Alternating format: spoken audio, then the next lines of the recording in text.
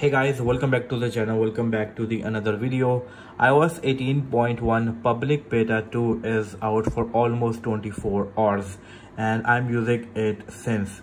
And in today's video i'm going to talk about how the last 24 hours went how the battery goes what is the geekbench score and also i'm going to address some of the changes that are available with the ios 18.1 public beta 2 so let's begin this video and let's talk about each and everything. Starting with the very first thing that is going to be geekbench score. So it means that is going to be the performance. So talking about the performance let me go to the geekbench application over here. These are the score of ios 18.1 public beta 2 2324 on a single core while 5476 on a multi-core. If i compare with the average one the in the um, average uh, single core scores the scores of 18.1 public beta 2 are better. In the multi-core the scores of 18.1 public beta 2 are slightly up just 3 point up but i'm quite disappointed with the multi-core score over here because it is not that good. If i go and show the other multi-core scores over here for example this one or this one or maybe this one these scores are very high than the this one.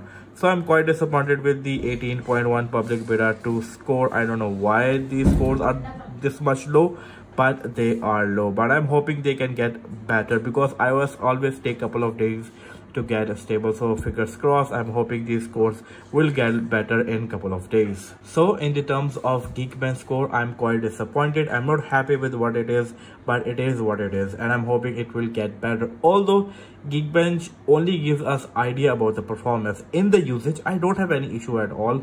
I'm using it since it is out. I'm running different applications trying out watching youtube and doing instagram whatever but in usage i don't face any sort of problem. But yes in terms of multi-core score i'm a bit disappointed. Now let's talk about the battery life. So going into the settings over here let the battery stats load as it is takes time. And over here as you can see i didn't use my phone much today because i'm also testing ios 17.7 the video of ios 17.7 will also come very very soon. I am testing that on my other device. But as you can see i used almost 50 percent or maybe 45 40 percent of my device and screen on time is quite low because i didn't use it much. But using 40 percent or 45 percent almost three hours of screen on time is quite decent. I used instagram for a bit then mi fitness app was running in the background because i was on a walk. Then telegram for a bit whatsapp was also because of calls etc. And i was updating uh, all my applications checking your comments looking trying to understand the new photos application being very honest with you guys and some other things. But i can say it's a decent screen on time after using it for a 50 percent. Many people are saying they are not getting good uh, screen on time. Battery is draining a lot on 18.0 i was hoping to see 18.0.1 but that is not out yet while i'm shooting this video. But i'm still hoping that might come today or tomorrow so fingers crossed for that. And that is going to fix issues. If you ask me that should you guys update to the 18.1 public beta 2 I don't think so because I will not recommend you to update to the beta version. I will suggest you stay on the 18.0 and wait for the 18.0.1 and I think it is better to update to 18.11 it once it will come out in um, October as a final version. That will be a much better time to update to this one talking about the changes for the people who don't know what 18.1 is offering because many people are asking that they don't have 15 pro or 15 pro max or iphone 16 because 18.1 is about Apple Intelligence. So Apple Intelligence is not coming to older iPhones. So what is 18.1 offering to the older iPhones? Well, there are a lot of changes. Starting with the very first thing is the call recording. Call recording is available for every other iPhone that supports um, 18.1. I did a call recording demo in one of my videos. You can go and check out my channel for that also there are more changes for example if you go to the control center over here now these connectivity tools controls are available separately so if i tap and hold add a control over here go into the connectivity section over here. As you can see wi-fi vpn personal hotspot cellular data every the thing is available. You can change their size. You can make them however you want to. It gets to the other page. You can add a separate page for them. Whatever you can do this these are quite handy and they are available with this update. Also when you go to the settings and go to the control center over here there is a new reset control center. This is going to be a very useful. Many people you know messing up with their control center and they are not able to go to the default one because it is it takes a lot of time to manage everything but by tapping on this for a one time you can go reset your control center completely which is also going to very useful.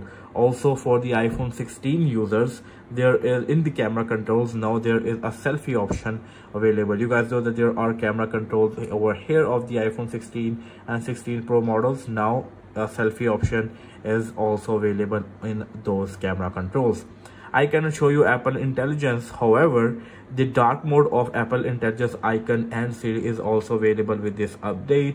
Also, when you go to the accessibility over here, the color of the this icon of Face ID and attention is changed now.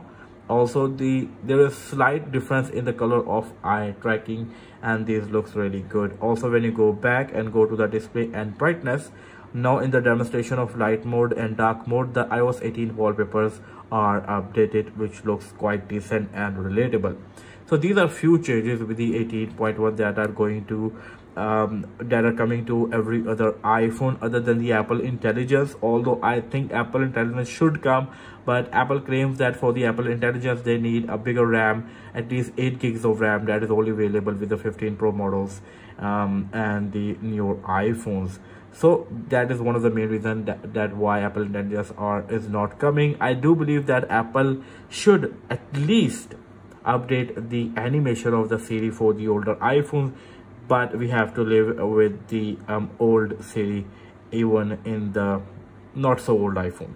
But these are few changes that are available with the 18.1 so in this video i talk about the battery life performance what is new should you update? I try to cover most of the things and yeah that's it from this video. I hope you like this video. If you did give this video a big thumbs up. Do like and share this video. Subscribe to my channel.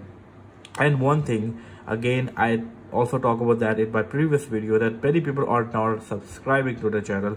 The subscription rate is quite very low. It is under five percent. That makes no sense because i'm trying to bring um useful videos for you that can enhance your performance of using ios. So make sure to subscribe. If you're coming to the channel hit the like button uh, hit the share button subscribe and yeah that's it from this video. I hope you like this video. If you did give this video a big thumbs up. If you're facing any sort of issue problem whatsoever you can drop your comment in the comment section below and i'm here, here to answer your queries. Well see you in the next video. Until then take care. Peace out